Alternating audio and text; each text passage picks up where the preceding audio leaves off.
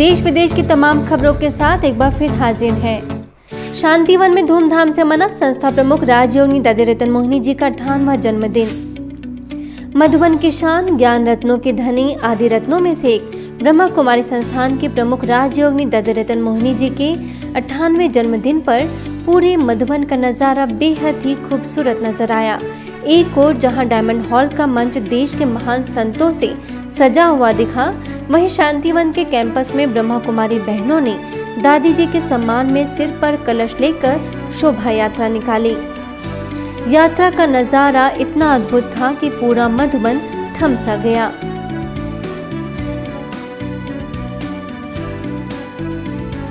अठानवे कुमारियों ने दादी जी के लिए अपने प्यार और सम्मान को एक अलग ही अंदाज में पेश किया। कुछ कुमारियों ने गरबा किया तो कुछ ने माँ तुझे सलाम के गीत पर दादी जी को नमन भी किया। स्वागत संगीत और सांस्कृतिक कार्यक्रम के साथ भव्य समारोह का आगाज़ हुआ।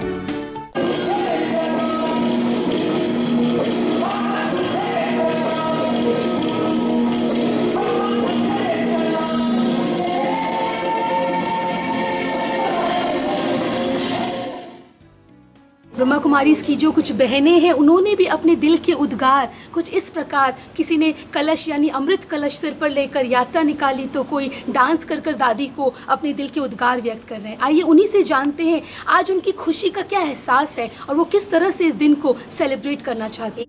हमारा दादी लक्ष्मी स्वरूपा है। अपने जीवन में त्याग तपस्या द्वारा हमें एक एग्ज़ाम्पल बने हमारे सामने खड़े हैं। दादी जी का बर्थडे है इसलिए अंदर से ही बहुत उमंग उत्साह आ रहा था। और डांस करते वक्त तो ऐसे फील हो रहा था जैसे कि हम सतयुग में रास कर रहे हैं। एक तो 98 बहनें ताल से ताल मिलाकर चल रही थी। ये अपने आप में एक बहुत बड़ी उपलब्धि थी।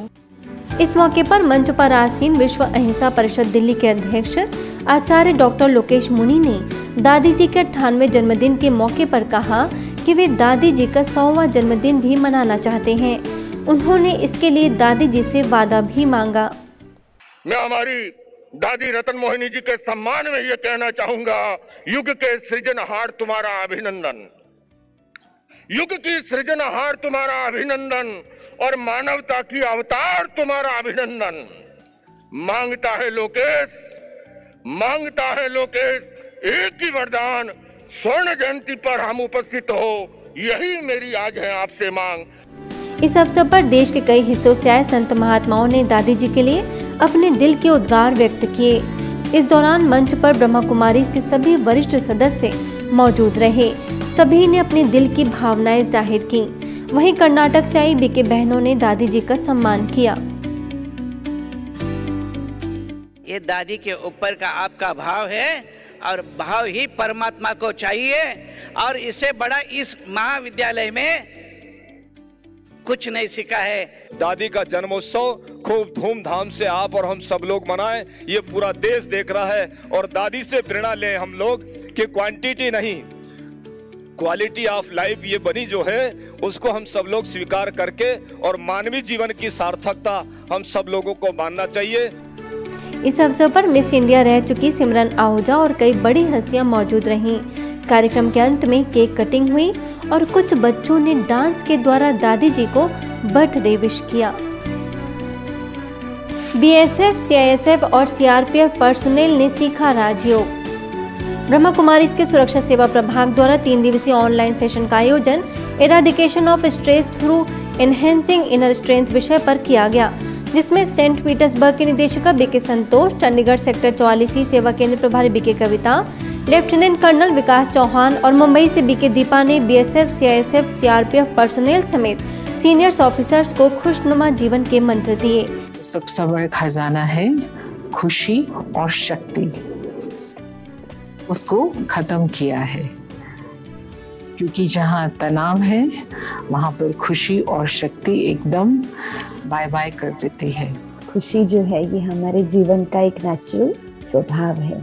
और ऐसी हैप्पी लिविंग के लिए परमात्मा से संबंध जोड़ना आवश्यक है, क्योंकि वो स्रोत है इस खुशी का, शक्ति का।